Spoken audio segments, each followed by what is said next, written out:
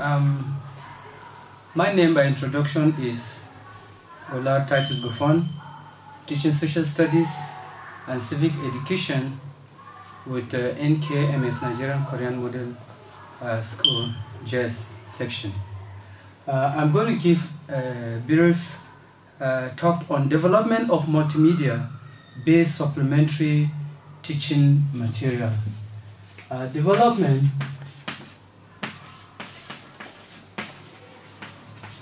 of multimedia.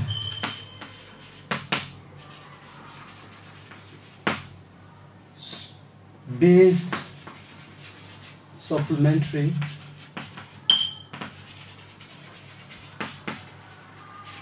teaching materials.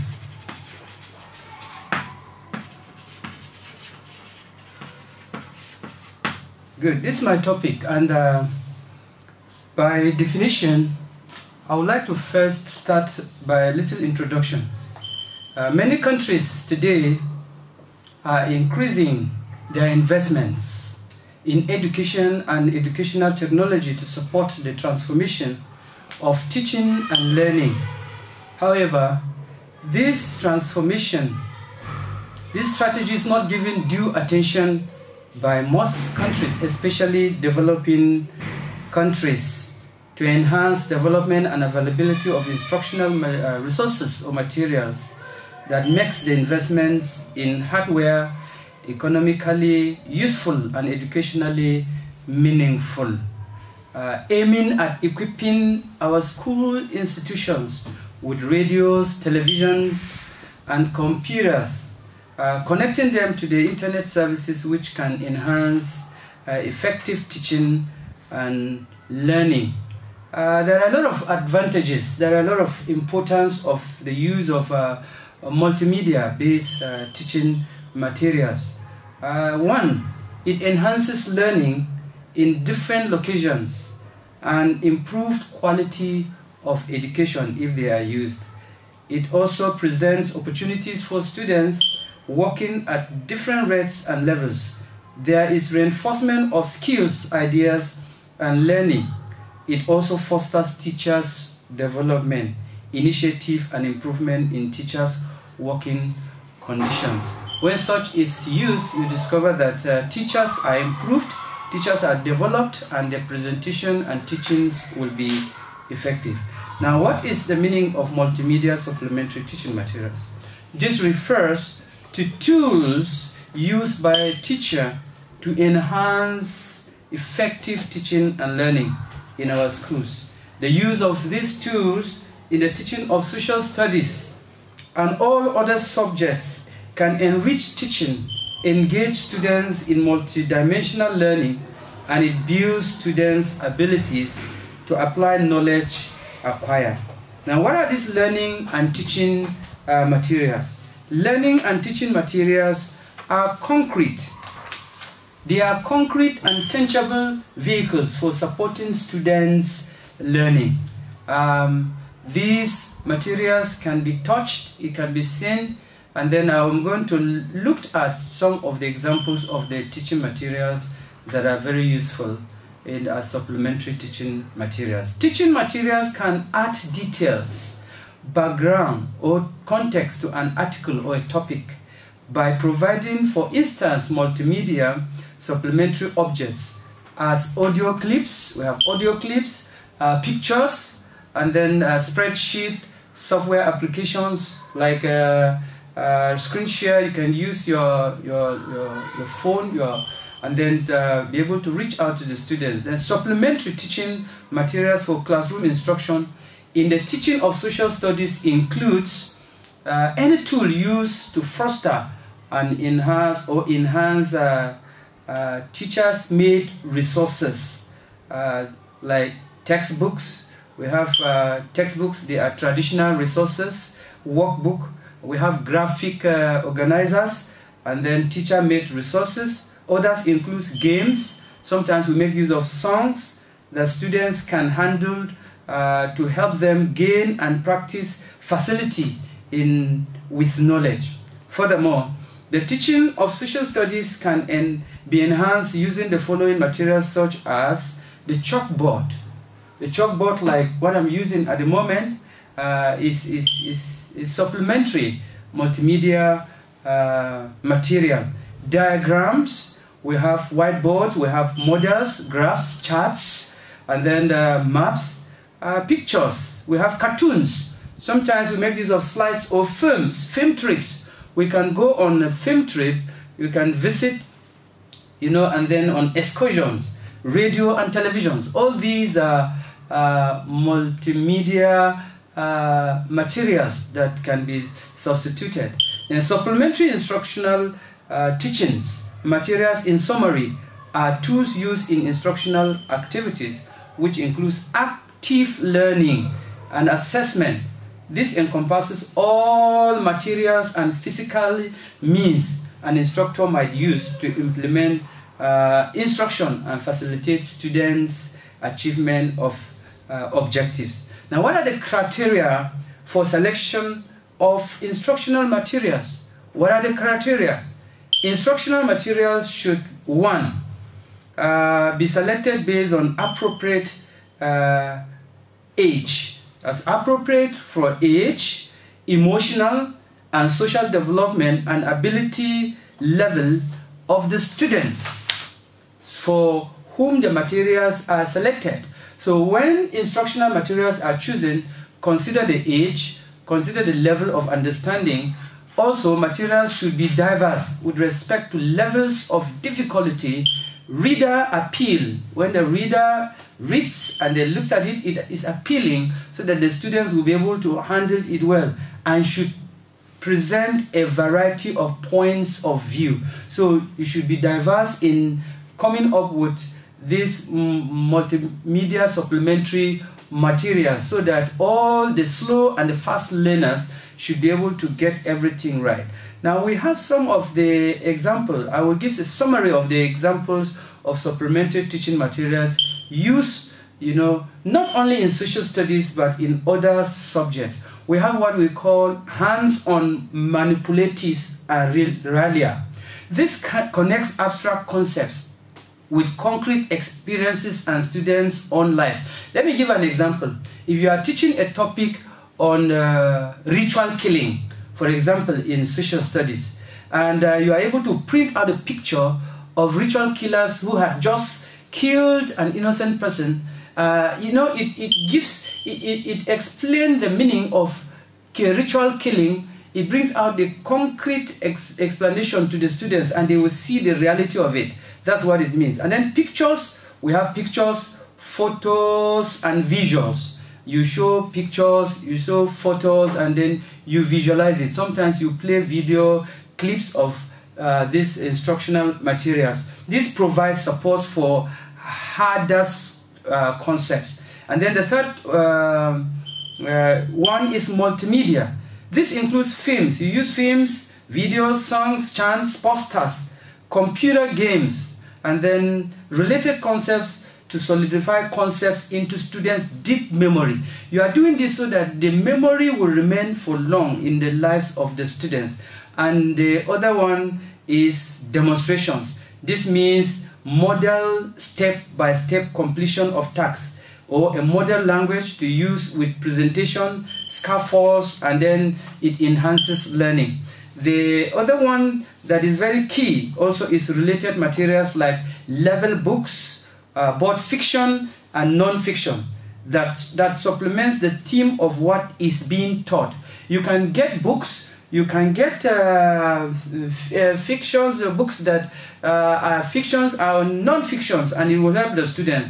For example, text, it involves books, magazines, journals, uh, newspapers, paper presentations, by some educational experts. Then images. Images uh, uh, of printed photos, maps, schematic drawings, digital photos, and then audio involves radio, audio tape, sometimes CD based, and then video analog broadcast, and then simulations interacting web, and then that requires a robot PC and high speed internet connection.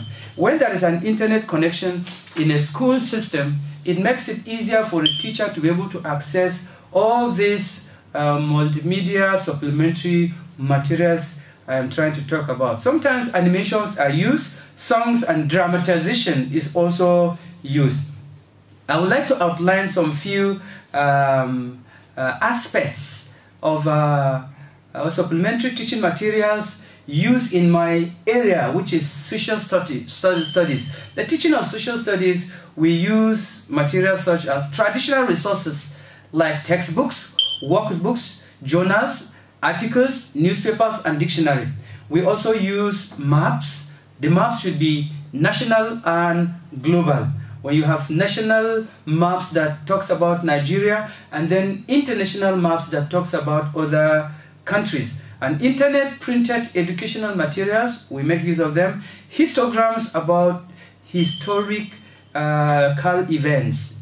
Then the Nigerian constitution, very important when we are discussing especially teaching civic education on the issue of human rights, fundamental human rights of uh, citizens.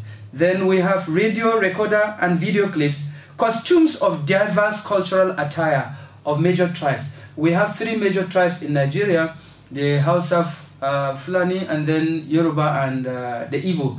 Um, we make use of the different attires uh, during teaching topics like uh, culture and some other related topics. Nigerian flag, then the models, graphs, charts, pictures, diagrams, cartoons, film trips, I talked about that, television, and then projector, computer, and then research papers. Sometimes we also make use of uh, road safety guidelines. And then um, before I say something about uh, relating it to my subject area, which is uh, like an example of a lesson plan to be able to see how this is supposed to be taught and then the materials are supposed to be raised. Uh, I would like to say that the use of multimedia uh, supplementary instructional materials in this 21st century cannot be overemphasized. Instructional materials availability and uh, effective utilization by teachers will certainly enhance teaching and learning. The, to overcome this, we need to promote technological development and improvement in our schools today. That will help uh, economic life of the people. So I now said a case study or a lesson plan on the application of the topic.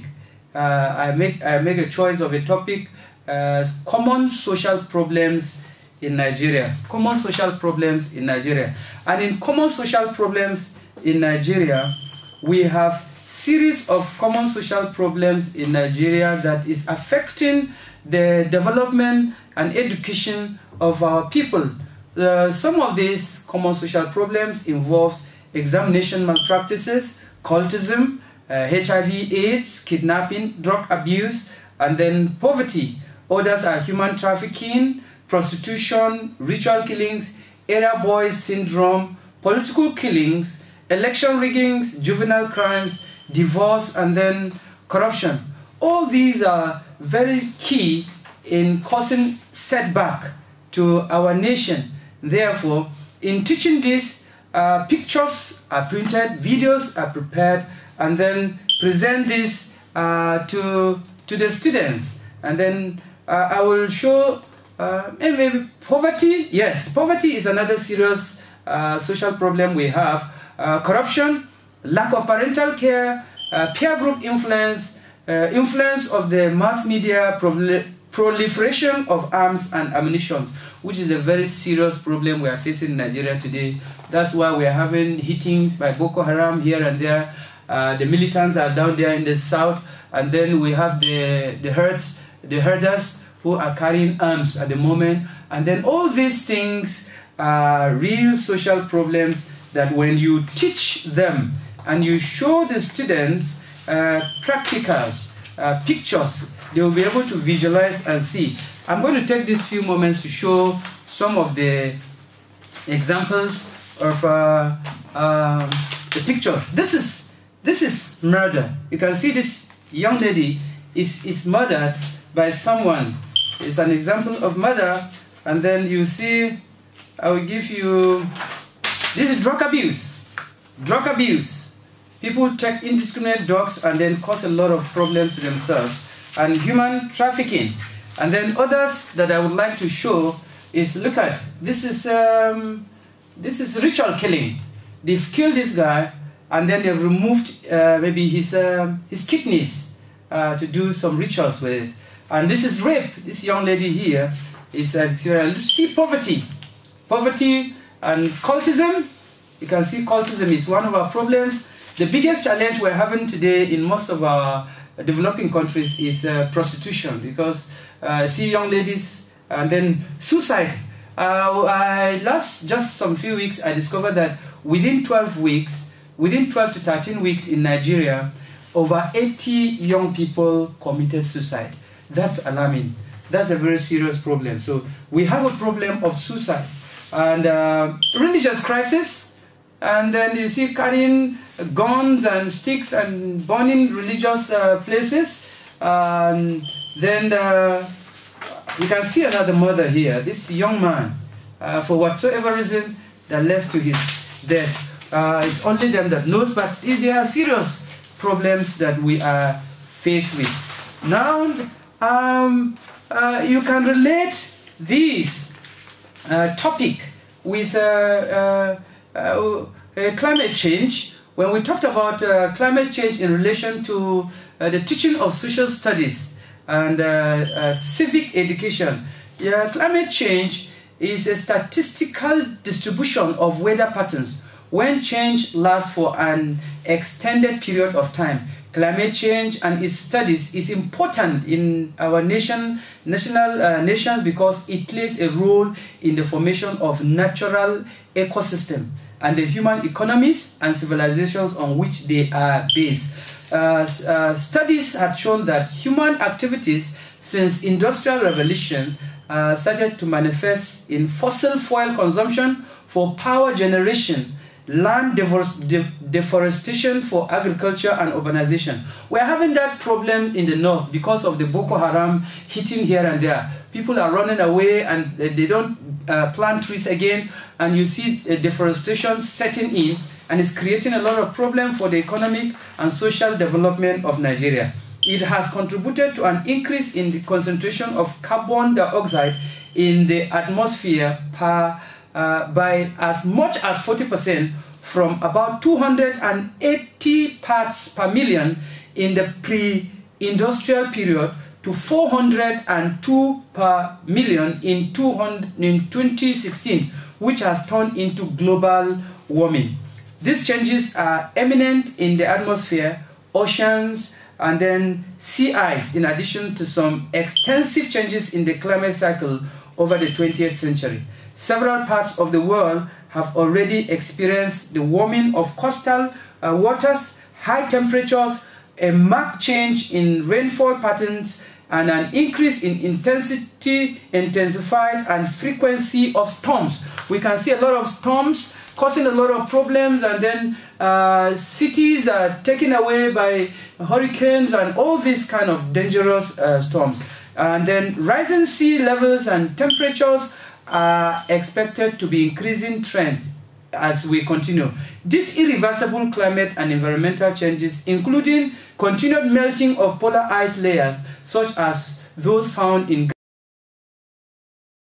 Greenland and West Antarctica, uh, could cause harmful uh, fluctuations in ocean currents and increasing methane emissions. There is a probability of uh, greater danger ahead if we if we do not take um, uh, a step to solve this problem and then the failure of doing this it's going to really create a lot of problems for us. The failure to address this climate uh, uh, change will inevitably undermine both the world's economic and social stability. There's therefore an intergovernmental panel call to bring about a marked reduction in global greenhouse gas emissions and for the adoption of the measures to respond to its effects of climate change. There are some few uh, effects of climate change, which is flooding of uh, coastal uh, cities and islands, loss of waters, uh, glacial water towers, marine life extinction, demise of capitalism, the splintering of nation states, drought, and unprecedented damage to uh, our infrastructure. Now, how can we handle that? How can we handle that?